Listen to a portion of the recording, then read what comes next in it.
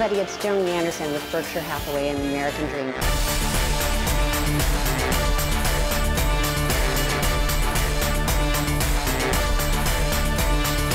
And this is where the action happens. This is the heart of the home. Who wouldn't want to live in this house and entertain? So peaceful, low maintenance yard. I can't believe this. This is just amazing.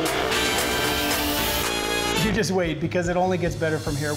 We have hiking and biking, we have swimming, we have tennis court. All of that just lends itself to this wonderful place that we call Rancho Santa Margarita. Today I'm interviewing our new mayor, Brad McGirr. Thanks, Jordan. It's the only place like it in Orange County.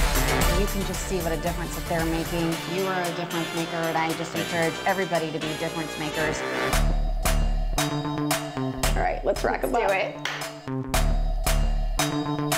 Let's go work out. We basically have everything that you can find in Rancho Santa Margarita under one roof. All of our partners, thank you so much to the American Dream. Cheers. Cheers. I'll catch you next time on the American Dream.